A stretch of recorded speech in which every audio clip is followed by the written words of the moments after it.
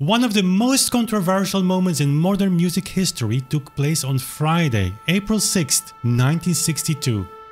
The New York Philharmonic, led by Leonard Bernstein, had programmed Brahms' first piano concerto with Glenn Gould as the soloist. However, when the time came, only Bernstein appeared on stage. He addressed the audience with a speech that continues to stir up debate more than 60 years later. You are about to hear a rather, shall we say, unorthodox performance of the Brahms D minor concerto, a performance distinctly different from any I've ever heard, or even dreamt of for that matter, in its remarkably broad tempi and its frequent departures from Brahms' dynamic indications. I cannot say I am in total agreement with Mr. Gould's conception. Since then, there has been much debate about whether Bernstein had the right to distance himself so openly from a soloist's too slow interpretation. But if we look at this event as a wonderful experiment, there is one question that has remained unanswered until now. What did Brahms actually have in mind? Everyone else played Brahms faster than Gould did, both then and now, and many believe this to be historically correct. But what about Gould's vision here? The direction he pointed to? Did the audience in Carnegie Hall get more or less Brahms that night?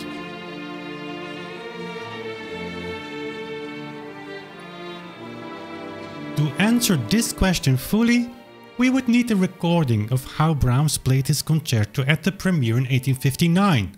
Without that, our exercise becomes really difficult given the many variables involved. The best thing we can do is focus on the one parameter that is not always up for debate and perhaps the most important of all, the choice of tempo. Yes, changing the tempo changes basically everything in a performance, not least the character of the piece. And remember, it was Gould's choice of tempo that made Bernstein deliver that famous opening speech. So, is tempo really that important? Hell yes! A performance distinctly different from any I've ever heard, in its remarkably broad tempi. So, what about the metronome marking for this concerto? Do we have one? Yes, we do. According to the Brahms Thematic Bibliographisches Werkverzeichnis, the composer noted a metronome mark on the manuscript dotted half note 58, apparently as practical instructions for the performer or conductor. Brahms gave a metronome mark for the maestoso sections, but as far as I know, not for the two sections marked poco più moderato, meaning slightly more moderate or slightly under tempo. Gould argued for a slower overall tempo, citing the close tempo connection between the two main themes as a primary reason.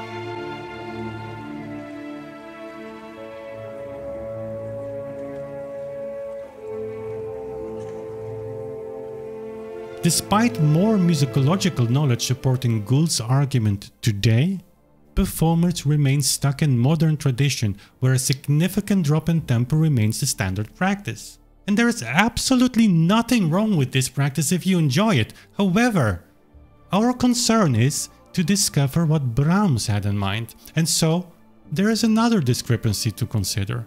With Brahms' tempo in mind, the first movement should last only about 15 and a half minutes, while common durations are between 22 and 24 minutes. No pianist or orchestra comes close to achieving what Brahms at first sight intended. Gould, with 25 minutes and 37 seconds, seemingly is almost half as slow as this, right? Not so sure about that reading Brahms' metronome mark in the old way, with the up and down as one unit, exactly as we still read the pendulum today, produces a stunning result. Tighten your seatbelts. But first a word from our sponsor. This video is made possible thanks to the generous support of my Patreons. If you want to learn more about the whole beat metronome practice, receive insiders updates about the ongoing projects, have questions from me directly, Patreon is the place to be. Check it out, link below in the description box and become part of an awesome community of over a hundred people. Applying the WBMP The average tempo for the entire movement, including the slightly slower poco più moderato, becomes 28 beats per minute. Gould is only slightly faster at 34 beats per minute. When we then focus on Gould's rendition of the second theme, the result is even more astonishing. Gould here is 2 beats slower compared to Brahms' metronome mark read in whole beat.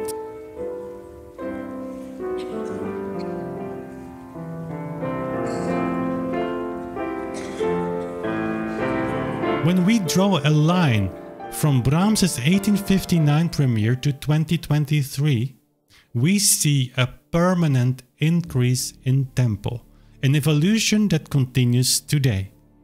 Gould saw something and pushed his friend Lenny to give it a try. That 1962 recording was undoubtedly a significant step back in the direction of Brahms. One two or even more centuries of new interpretations, new vogues, fashions of the day, generations of teachers must have created a fascinating but truly different handling of music composed so long ago. There is no need to change anything about that, but there should be room for experimentation.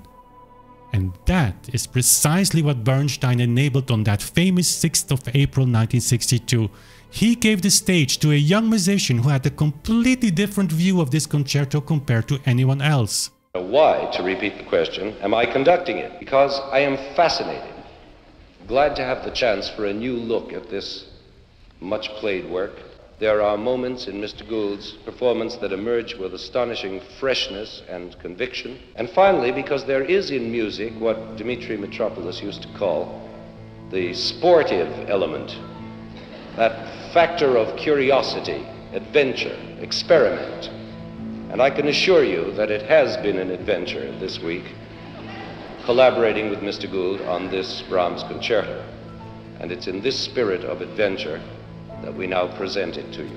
We need more Glenn Goulds and Bernsteins to shake up this world a bit, not for the sake of shaking it up, but because the composers of that great music simply deserve us to look at their scores time and time again with fresh eyes. In that regard, it is such a pity that Gould had to die so young. Today, he would have been barely 91. And I'm sure he would have sent an email after seeing this video with a 5 page long impression ending with Let's talk about that, here's my number. Only God knows what could have happened after that telephone call. Perhaps even a revival of classical music.